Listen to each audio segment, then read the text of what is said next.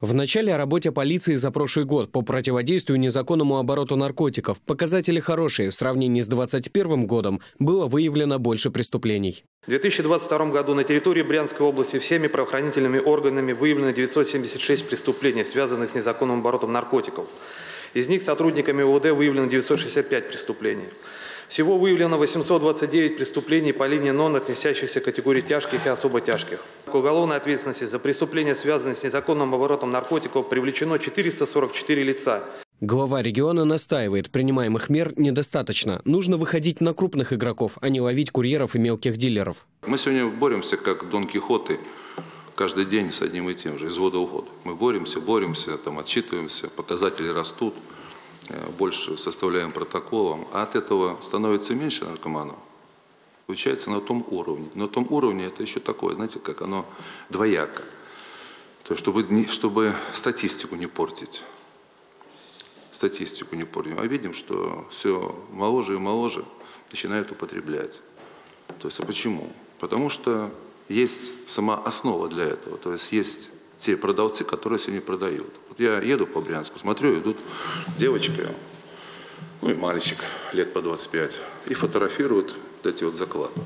Я говорю, ну что, ну сфотографировали, сейчас смотрят. И все, и все. Понимаете? Э, что нам сделать для того, чтобы взять эту гидру и все вырезать? Или нельзя? Мальков ловим, да, садим, жизнь ломаем. Они, а те, кто ломает жизнь, они находятся на свободе, они прекрасно живут. Может, где-то и находятся там в органах власти, может, где-то находятся в ваших органах. То есть есть же те люди, которые этим занимаются. Сейчас из года в год нельзя, нельзя поймать. Ну что, мы расписываем в своем бездействии. Губернатор уверен, если выросла раскрываемость преступлений, связанных с наркотиками, значит и самих наркоманов стало больше. В подтверждение слов главы региона сухая статистика из наркологического центра. За прошлый год у нас было зарегистрировано 2600 больных наркоманией или на 2,7% выше, чем в прошлом году. Структура практически за последние три года не изменилась. Снижается количество наркоманов с опиоидной зависимостью, но мы отмечаем рост больных с несколькими видами зависимости, и особенно с синтетическими наркотиками. Это сейчас бич не только Брянской области, но и всей Российской Федерации. Надо проснуться всем, проснуться. Мы потеряем скоро. Вот я вчера там мы проводили по спорту, по Нью-Йорку.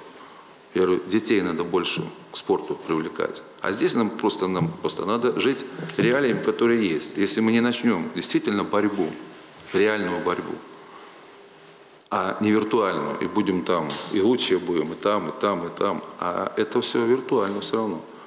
Все равно у нас, у нас проблема намного острее и намного опаснее, чем есть. Она намного опаснее.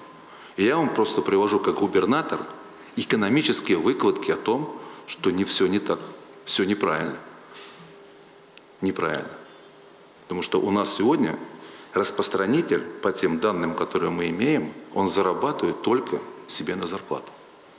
А где тех теневиков, где оптовики, где производители? Нету. А вы мне объясняете, что у нас все хорошо. А я уж плохо. Комиссия сошлась в одном – необходимо проводить больше профилактических мероприятий среди детей и молодежи. И еще – развивать спорт и культуру, чтобы у новых поколений не возникало мысли связаться с наркотиками. Дмитрий Газин, Виктор Левченков, Анатолий Чекрыгин, Брянск.